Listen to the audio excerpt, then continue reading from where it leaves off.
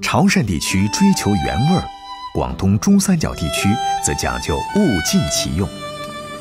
将鱼的每一个部位带上餐桌，无论是高档茶楼还是街头食肆，总少不了一两道关于鱼的辅食小点。在广州，有的食肆甚至靠着一份凉拌鱼皮，即使深藏小巷，历经四十年风雨寒暑，依然吸引了无数老广慕名前往。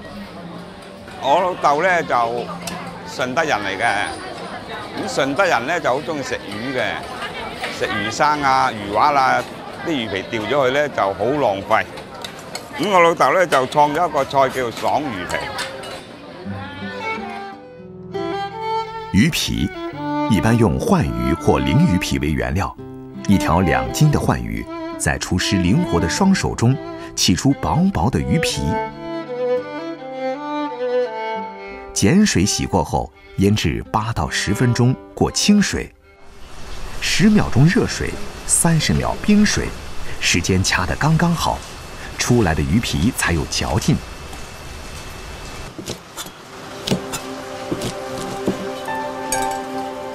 拌上姜、葱、芝麻和秘制酱油，爽脆鲜香。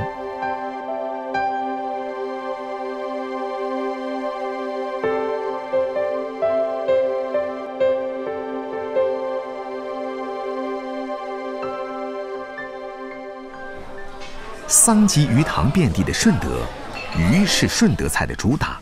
以精细刁钻为精髓的顺德菜里，几乎每个餐厅都会有几道拿手鱼类菜品。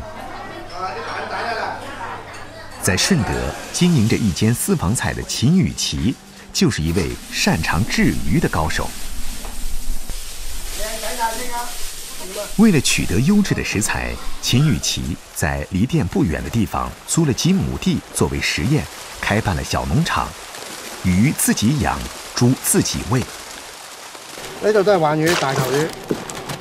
我哋而家就喂啲青菜，等佢保持到佢魚嘅活力，但係就唔會話會長脂肪。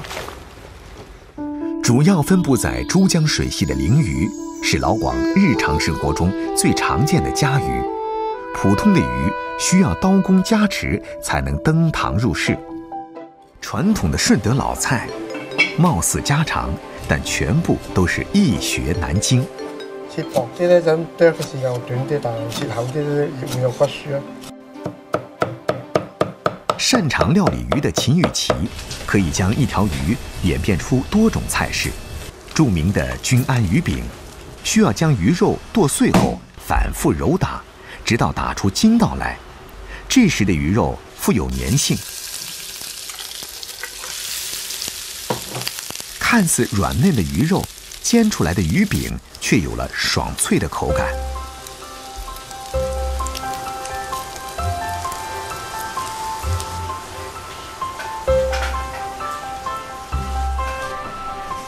最令人拍案叫绝的豉汁蒸鲮鱼鼻，只取鱼头中最嫩滑的鱼嘴，用豉汁蒸出酱香，各中细微差别，精明的本地食客总能辨出高下。秦雨琪也在传统顺德菜的基础上，不断加入自己的想法。鱼骨熬制的高汤煮粥，只取细腻的粥水。加入剔除鱼刺的鱼肉、瑶柱丝、丝瓜等十一种配料，用粥水煮的拆鱼羹，就是秦雨琪自创的拿手菜。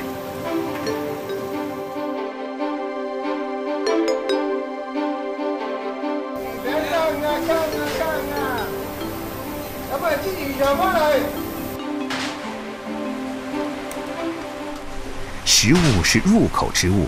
金玉琪很在意街坊的评价，一直坚持自己调味，把一条鱼变成一个味道的世界。这是南岳水乡浸润出的独特技艺，也是顺德菜的脉络主线。八月，禁渔期满，阳江海陵岛也随着渔船一起苏醒。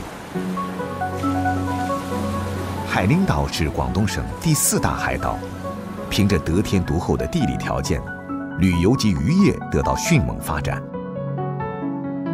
丰富的渔业资源，使得以鱼为原料的吃法长久地保存下来。一般都很喜欢吃的，这个鱼没加粉的，全部都是鱼肉啊，买来打汤啊、打火锅啊，都好好吃啊。有時啊，鬆肉咪卖几百斤。海陵岛居民以渔民为主，饮食中鱼或者鱼肉制品是必不可少的。鱼面、鱼丸、鱼腐等鱼糜制作的产品大受欢迎，特别是鱼面和鱼腐，更是具有近千年的历史。冯世苏经营着岛上的一家食品厂，这天专程来到近海养殖的鱼排上寻找一种原料。嗰啲咩北法魚，嗯，嗱啲馬教魚一般都喺嗱啲威蒙線啊，攞去帶圖做呢個。一般就係係喺碼頭賣。啊，马鲛鱼因其色白如银，银肤艳尾，味甜无鳞，既有美貌的外表，又同时具有美妙的味道，因而受到广大食客的追捧。八月开渔之后，每天天不亮，喧闹的渔港就开启了一天的序幕。冯世苏趁着早市新鲜，过来购买货物。我們係領頭招貨碼頭，每天五点到八点就非常热闹的。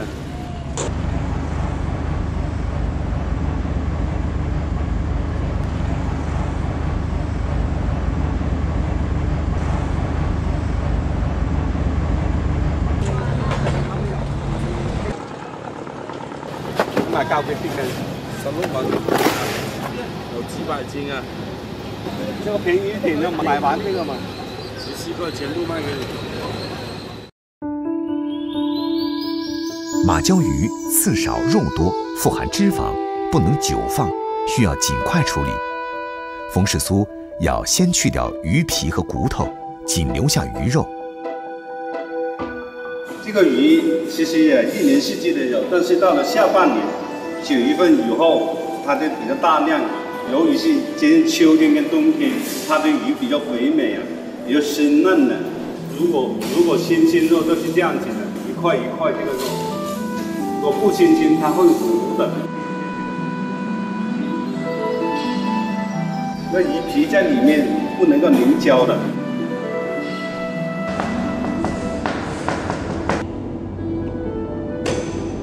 我们摔了这整一块啊，跌不下去就差不多了。经过捶打的鱼肉起胶凝结成一团，即成鱼糜。冯世松卖过猪肉，也曾经跟着亲戚做外贸生意。凭着丰富的渔业资源，他自己开厂做鱼糜制品，推销当地传统的小吃鱼面、鱼腐等。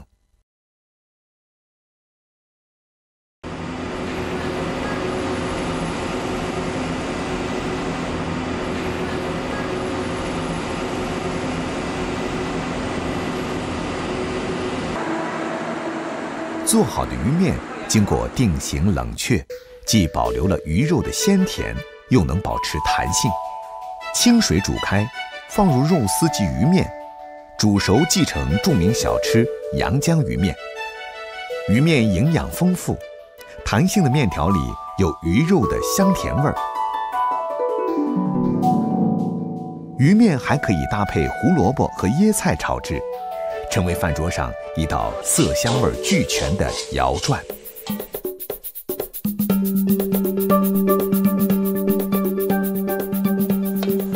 鱼米整盘入锅蒸十五分钟，熟透之后切厚片，就是常说的海陵鱼腐。鱼腐整块入油锅，煎至两面金黄，焦香扑鼻，弹力十足。切小片装盘。是有人叙旧、烹茶聊天的好点心。鱼糜产品中，冯世苏最满意的是金沙鱼豆腐。现在做金沙鱼豆腐，这是第一步定型。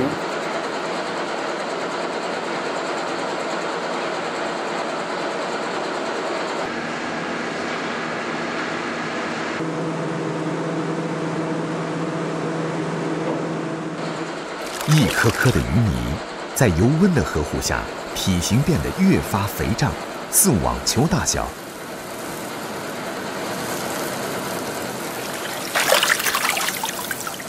当表面金黄时，捞起沥干。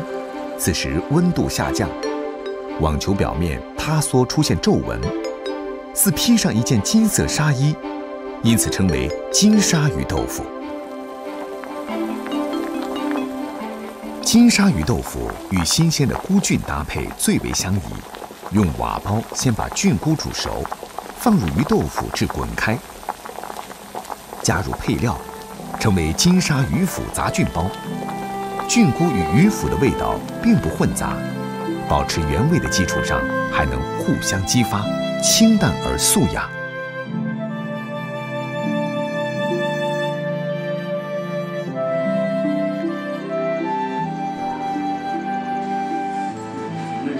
鱼糜制作成的食物，原是渔民犒赏自己的小吃，如今被搬上餐桌，成为游人尝鲜的菜肴。南中国海，热带亚热带渔业资源丰富，这是老广们自古依赖的海上良田。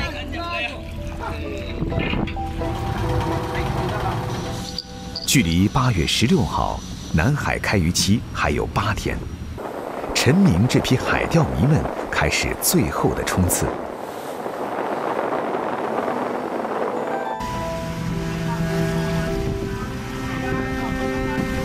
从阳江市闸坡码头出发，航行二十四小时，到达第一个钓点——油井平台。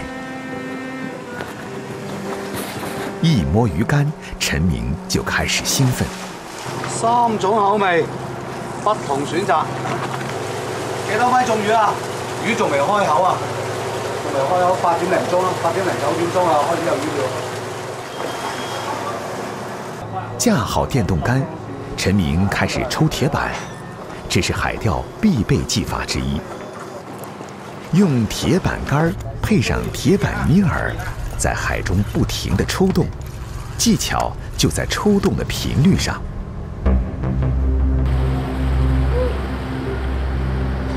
有钓友上了一条烟仔鱼，却在出水的时候被海狼咬去了半截。仲掹住啊！上嚟睇到條海浪啊！咦，嗱個煙仔頭靚啊！睇住條海浪仲喺度啊！先放口。远洋出海极其枯燥，除了钓鱼，也没别的方法解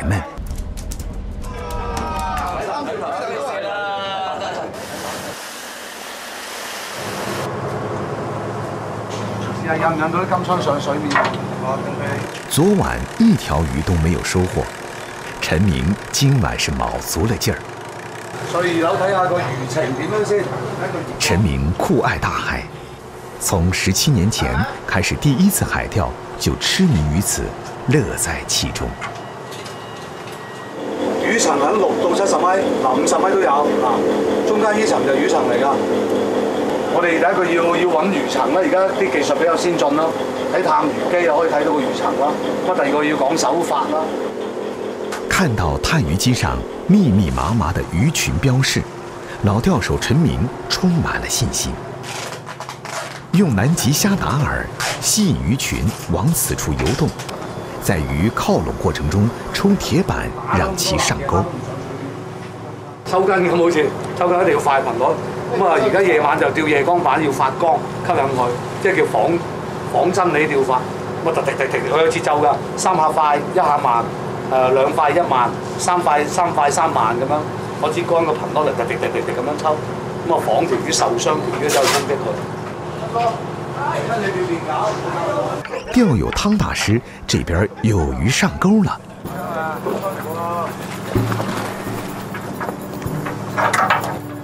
是一条金枪，比较满意了啊！今天晚上啊啊！刺身最佳食用的时间是五天以内，最好是冰藏两天，等于全身排完酸，这是熟成手法，等于回糖。好，OK，咁呢條魚我哋開始入凍湯啦。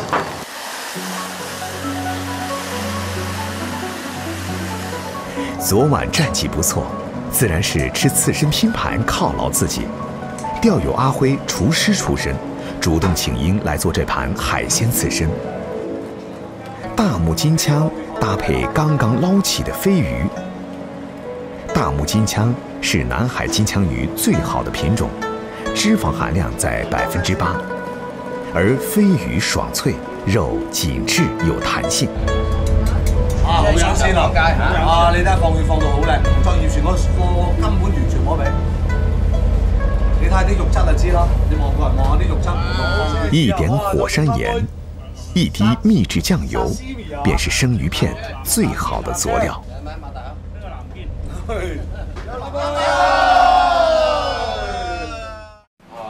在海钓圈里，名声越来越响，跟陈明要鱼的人也越来越多。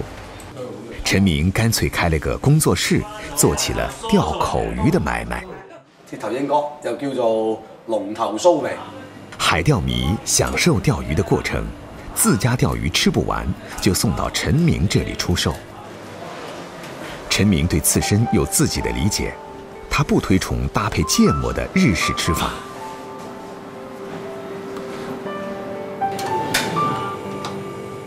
烧开水，加入生抽底料，再放入新鲜的鱼头、洋葱、胡萝卜、西芹、香菇、八角、月桂等调味。自家熬制的酱油就是陈明的味道秘诀。一滴酱油便能唤醒新鲜鱼生的海洋气息。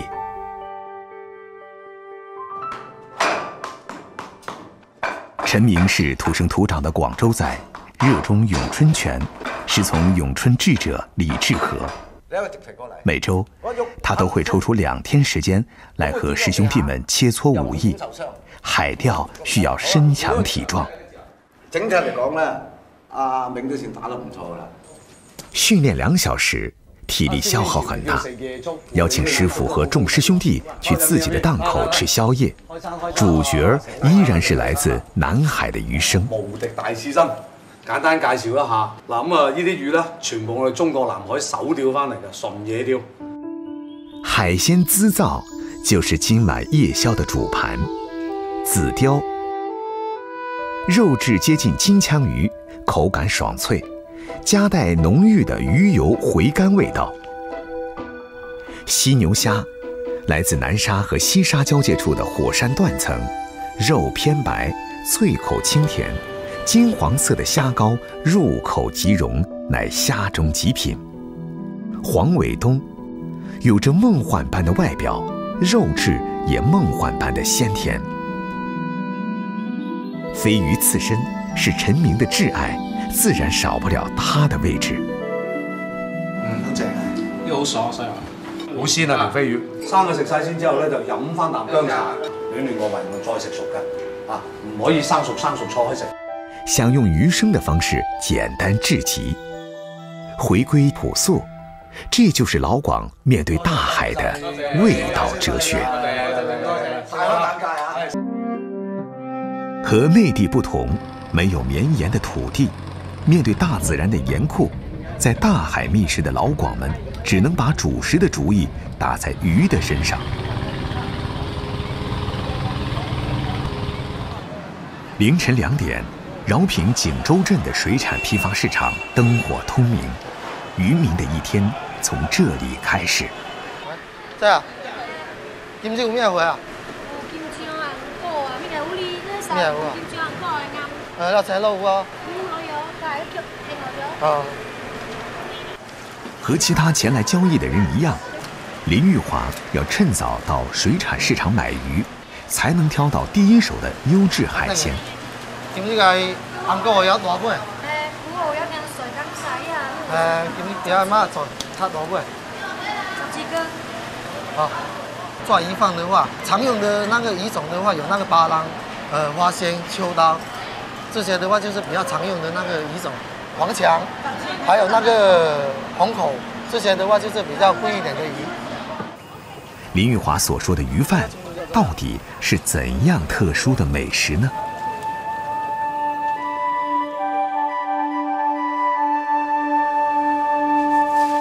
饭制作虽然简单，但前期工序却全都是手工活清洗是关键的一环。我们都是用那个海水来进行一个清洗，还有一个腌制的过程。海水的话，因为它是含有一定的盐度，这样子的话，那个鱼身等一下煮完了以后，它会更加硬生一点。传统的鱼饭制作不用开肚去鳃，洗净后，另一个关键步骤就是将鱼摆放到刷洗干净的竹篮里。那个头朝下，四十度角，围成一个一朵花一样。中间的话，它留一定的那个空间，它是为了煮的过程比较难煮，呃，能把这个鱼煮熟。摆盘撒盐，每天同样的动作要重复几百次。二零一五年，在外打工的林玉华回家，跟着有三十多年卖鱼经验的父亲学习制作鱼饭，把一个小作坊做成了大鱼行。鱼饭的种类已经不局限于传统便宜的花鲜鱼、八浪鱼、菇鱼，还多了黄角鬣、那哥、青鲈等十多个品种。林玉华煮鱼，除了海盐水，还有一位秘方。这个海水的话是直接那种。呃，大船，然后出到沿海去把这个海水拉回来的。因为以前传统的鱼贩都是直接在船上，直接用海水煮的。煮鱼的水准备就绪，腌制了二十分钟的鱼也准备下锅了。为什么要加这个筛子呢？就是防止这个鱼在蒸煮的这个过程中，它浮动或者说变形。包括我们最上面的要加那个重物，也是为了在蒸煮的过程保持它的美观。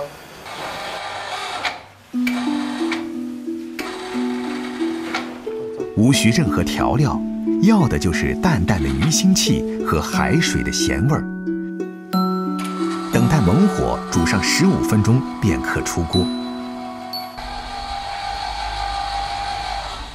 古书中将蛋名称为不食利者。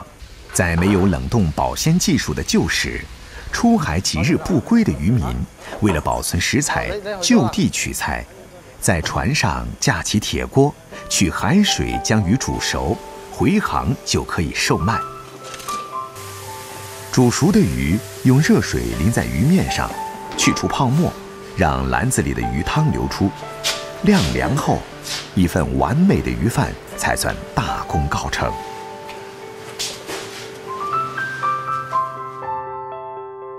外乡人第一次吃鱼饭，都会惊讶：鱼饭鱼饭，为何只见鱼不见饭呢？鱼饭是没有饭的。说我们这个鱼饭蒸煮出来以后比较鲜甜，可以当成那个饭吃。新鲜质优的鱼饭，外表鱼色富有光泽，鱼身坚挺硬直，干香不输米饭，营养堪比主食。鱼饭绝非浪得虚名。制作好鱼饭，林玉华要趁新鲜送到揭阳售卖。三十多个品种，四百多筐鱼，这是林玉华一天的销量。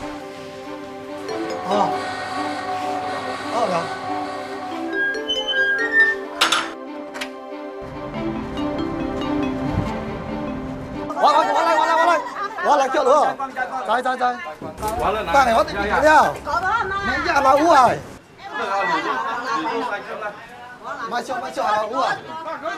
每天只要是林玉华的鱼贩，总能在一个小时内被抢购一空。这些鱼贩，明天将出现在潮汕人的餐桌上。而忙碌了一天的林玉华，总算可以回家吃饭了。小 B B 啊！我食了。小米鸡，好来，来加了回去啊，加了，加加加加喝。鱼饭的标配便是一碟普宁豆瓣酱，用简单的方法唤醒惊艳的滋味，像煮饭一样煮鱼，像吃饭一样吃鱼，变为鱼饭。这种在大海里诞生的蛋民主食，本是无奈之举，却成就潮汕人难以割舍的滋味。每天早上九点刚过，东莞东海酒家大堂里就坐满了喝早茶的客人。食客们美味探世界的同时，后厨的战场也开始打响。有啲忙喎，今日一單都做唔切啊！試下嚿係點樣咧？我試下嚿啦，幾好啊，爽有汁。曾海强是香港人，十五岁入职厨师行业，一直专注于粤菜。虽然已过壮年，但四十多年的功力使强哥练就了一双火眼金睛。執翻靚啲佢嘛嚇。曾海强每天在后厨穿梭，他擅长的传统粤菜里，龙趸及龙趸皮是常用的食材。老广的餐桌以石斑为贵，石斑当中又以龙趸最为常见。龙趸学名中距石斑鱼，是凶猛的肉食性鱼类，以底栖甲壳类及小鱼小虾为食。成鱼体重有记录的，最高达三百公斤左右，身长两米上下，几百斤的大龙趸可遇不可求。大个头的龙趸，其皮也厚，用来做菜，味道不逊于上好的鱼胶。曾海强想要获得大的龙趸，并非易事。深圳大鹏湾风光秀美，几家不大的海鲜门市显得有些冷清。曾海强刚听说这里有比较大的龙趸鱼售卖，就赶紧和助手专程过来看看。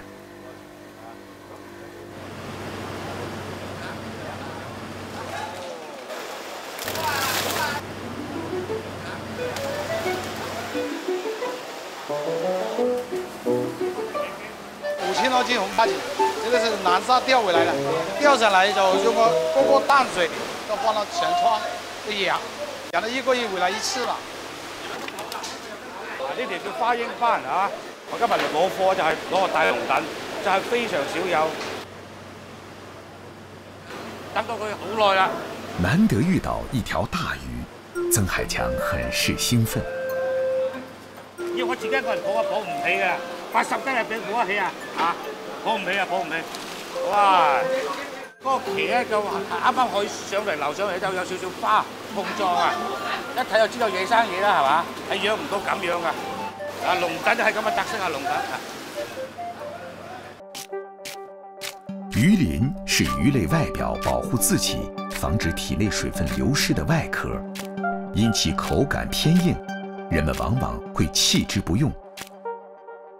但曾海强却把它们裹以面糊，下油锅炸至卷曲，椒盐鱼鳞金黄酥脆，咬时咯吱脆响，作为餐前小点，别具一格。